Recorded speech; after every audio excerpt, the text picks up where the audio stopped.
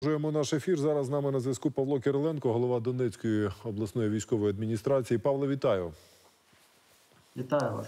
Кілька днів тому президент сказав, що Донеччина і Луганщина це головні цілі Росії зараз е, у війні. Ви очолюєте Донеччину.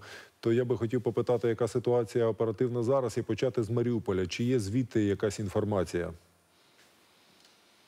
Е, Маріуполь тримається. Захисники Маріуполя нищать ворога, продовжують нищити його і його броньовану техніку, і мужньо живу силу. Бої точаться у місті, над містом майорить український прапор. Чи є можливість у цивільних виїхати, і чи є шанс на якісь гуманітарні коридори? Третій день поспіль з міста не випускають навіть на приватних автівках. Факт. Е, Вони посилено працюють е, в місті над е, тим, що прибирають тіла загиблих маріупольців. Дуже чітко розуміючи, що їм за це відповідати. І як би вони не ховали свої злочини, їм Російській Федерації відповідати за злочини, і вони будуть відповідним чином доведені, доведені нашими професійними правоохоронними органами. Я в цьому не маю сумнівів. Які дії вони чинять? По моїй інформації, вони збирають тіла по вулицям. Вони навіть практично їх вже зібрали.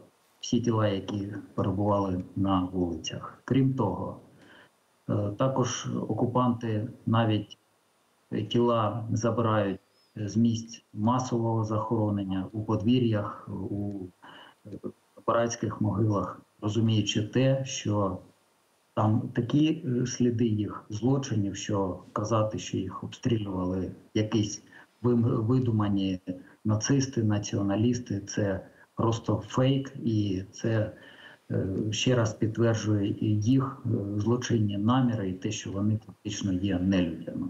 І працюють крематорії людей, де можуть вони е, палюють прямо на території міста або вивозять на непідконтрольну українській владі територію. Тому така зачистка йде.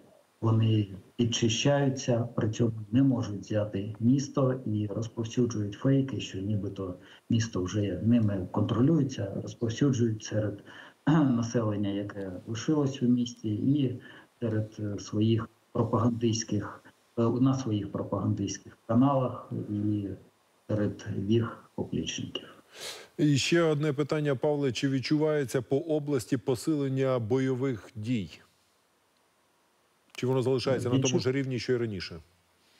Відчувається посилення, посилення обстрілів, авіаударів.